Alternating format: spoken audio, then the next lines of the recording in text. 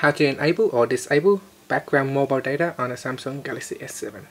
Some apps require the use of background data, so if there's no background data, certain apps will fail. So if you accidentally turn it off, here's how you can turn it back on. Or if you worry about um, the background data is being used and you may over uh, you spent your mobile data limit, you can turn it off.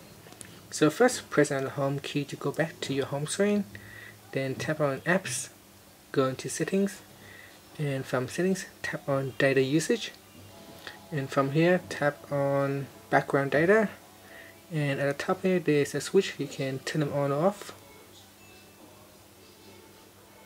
Now you can see you could also um, disable background data based on individual apps.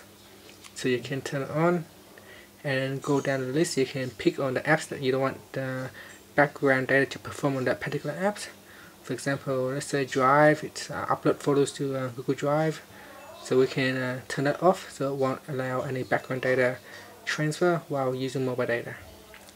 Finally press on the home key to go back to your home screen. Thank you for watching this video